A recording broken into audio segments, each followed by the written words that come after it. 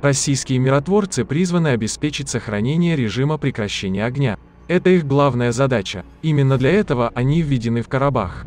Так как в противном случае их будут все чаще обвинять в том, что они вошли сюда якобы с совсем другой целью и намерены остаться здесь надолго. Об этом взгляд АС сказал российский политолог Григорий Трофимчук. По его словам, буквально каждое сообщение азербайджанской страны об обстрелах со стороны армянской армии или неофициальных армянских вооруженных формирований должно тщательно проверяться, расследоваться. И наоборот, то же самое должно быть сделано, если уже сами армяне сообщают об обстрелах. А если огонь не прекращается и даже более того, в результате обстрелов появляются жертвы, то это говорит о том, что, во-первых, на прочность щупают не миротворцев, а уже саму РФ как таковую, пытаясь испортить ей международный имидж успешного арбитра. Во-вторых, миротворцев постепенно вгоняют в ту же нишу, что и Минскую группу ОБСЕ, которая была не в состоянии четко и официально назвать агрессора, автора первых выстрелов и ударов. В-третьих, когда-то выстрелы могут быть произведены уже и в самих миротворцев. Здесь для всех быть хорошим уже не получится.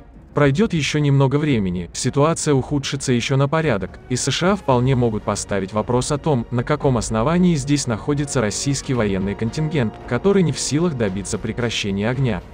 А следовательно, может возникнуть предложение и о международной военной миротворческой миссии. Москве не стоило бы давать Белому дому в руки такой козырь. Отметил Трофимчук. Касаясь того, что армяне осуществляют обстрел азербайджанских позиций на глазах у миротворцев, российский политолог сказал, что ему сложно представить такого, что российские миротворцы намеренно, специально и целенаправленно допускают на подконтрольную им территорию вооруженных армян, чтобы те оборудовали там огневые точки и стреляли в сторону азербайджанцев. Для российской стороны это было бы самоубийством. Ведь такая ситуация ведет прямо к продолжению Карабахской войны. Война под боком у России – это главный для нее кошмарный сон. При этом, конечно, нельзя исключать появление диверсантов по всей территории, которую азербайджанцы отбили у армян, и об этом я говорил сразу же после трехстороннего заявления 10 ноября. Мировой порядок становится все слабее, поэтому в район Карабаха может быть заброшен кто угодно.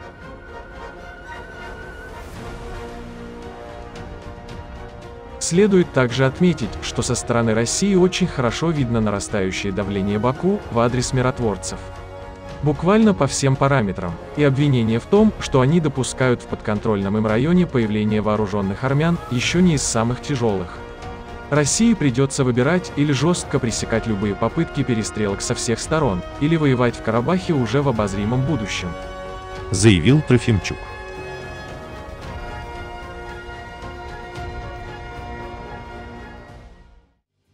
Что думаете вы? Пишите в комментариях.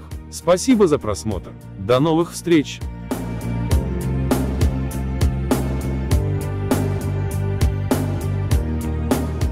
Спасибо за просмотр. Поставьте лайк, и если вы не подписаны на наш канал, то подпишитесь.